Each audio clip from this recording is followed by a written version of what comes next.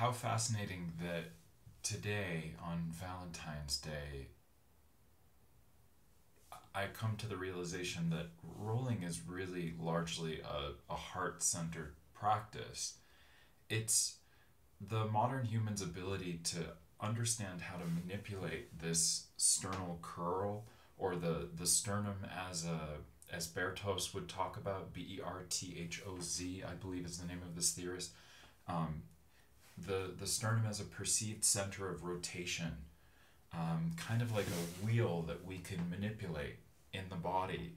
If we look at uh, the theory of uh, the Dantian, the, the sort of traditional Chinese medicine, like the, the Chinese energetic centers, the primary Dantian being around the basically the second chakra, the, the sacrum, the sacral chakra, what I think of as the primary keystone.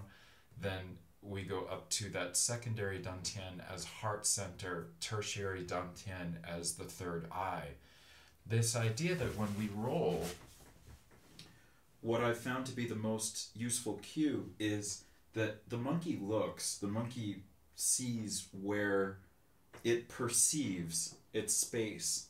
But that first movement of the hoop is really where the heart or intention biomechanically that sternum that thorax it starts to move. It initiates that weight shift that is then manifest through the rest of the system through the place of greatest force transmission like the thoracolumbar fascia the pelvis uh, through the use of the greatest the largest lever in the body. It's kind of incredible to me that that spiral is really made physically manifest through that intention at heart center. That's our first cascade into spiral, into Fibonacci. So,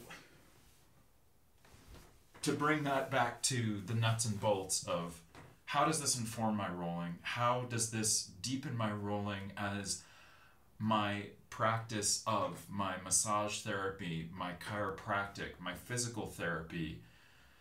And ultimately my my core conditioning in a centripetal fashion, a centripetal conditioning. So nuts and bolts. To roll the cue that I've found to be the most helpful for myself and all of my clients, I have the hoop swings over to the side. Per the mashing drills, the goal is to to soften the glutes as we start to weight bear in them, to scoop in on the pelvic floor a little bit instead.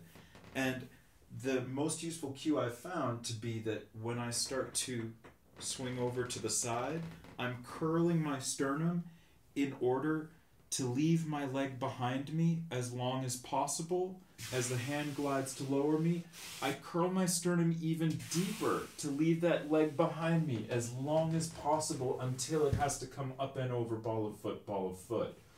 What that ends up causing is it necessitates the, the mashing of the shoulder girdle. Instead of focusing on just that mashing of that armpit line to release the, the whole shoulder girdle to ultimately release the sternum, the use of that sternal curl, if I just curl deeper, curl deeper, it allows me to leave that leg behind me as long as possible. I come up and over.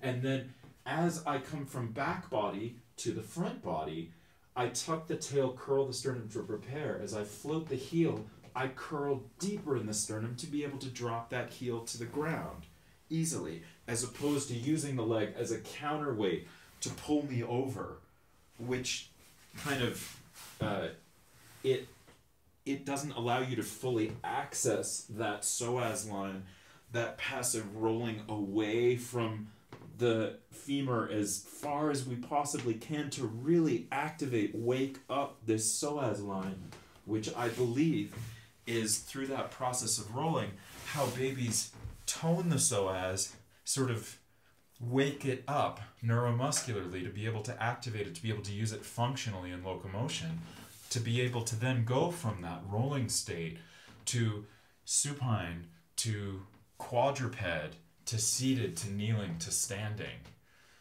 So I think it's just kind of an amazing Valentine's Day meditation that really where we can see and perceive our space that first that first gesture that brings us into this Fibonacci cascade, this spiral that can both heal and condition the body, be really initiated at the heart center with that swing of the hoop.